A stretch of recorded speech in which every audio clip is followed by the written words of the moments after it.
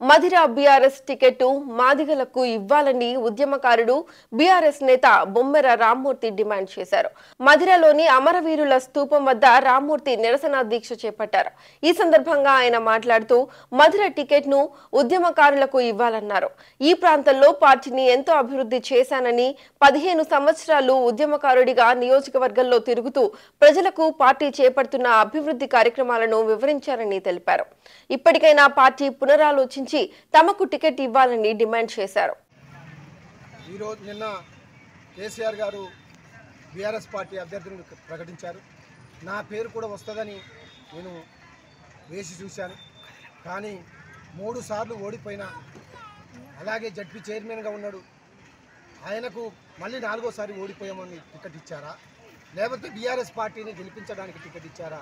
ఒకసారి అర్థం చేసుకోవాలని యుద్ధం చేస్తున్నాను. బట్టి విక్రమార్క గారిని మట్టి కనిపించాలంటే రాజకీయంగా ఇక్కడ ఒక దళిత మాదిగ బిడ్డనైన ఉద్యమకారునికి అవకాశం ఇస్తే ఖచ్చితంగా బీఆర్ఎస్ జెండా మధుర నియోజకవర్గంలో ఈ ఆంధ్ర బార్డర్లో రేపరేపలు ఆడుతుందని ఈ సందర్భంగా తెలియజేస్తున్నాను. ఎందుకు ఇంకా ఎందుకు నన్ను మోసం చేస్తున్నారు? ఇప్పటి వరకు ఇరవై మూడు సంవత్సరాలు మీతో ఉన్నాను. పదిహేను సంవత్సరాలు పార్టీని ఇక్కడ పెంచాను. ప్రతి గడప గడప తిరిగాను. ఎనభై గ్రామాలలో జెండా గద్దెలు కట్టించాను. పార్టీని ఆకాశంలో పిలిచాను తిరుగులేని రాజకీయ శక్తిగా పెరిగింది. కానీ ఓడిపోయే వాళ్ళకి ఎందుకు ఇస్తున్నారు టికెట్?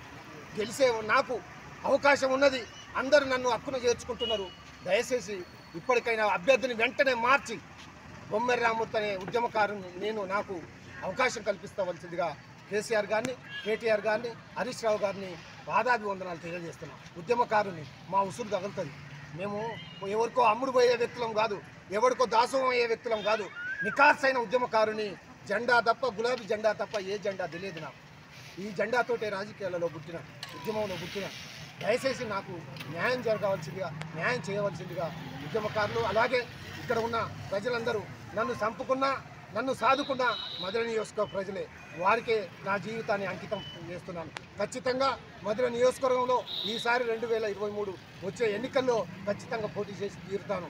ఎందుకంటే నాకు ప్రాణం పెట్టింది నన్ను ఉద్యమకారుడిగా గుర్తించింది ఈ గడ్డ ఈ ప్రాంతం నుండి ఎన్నో త్యాగాలు చేశాను. ఇంకా త్యాగాలు చేసే ఓపిక లేదు. నన్ను మోసం చేయకండి.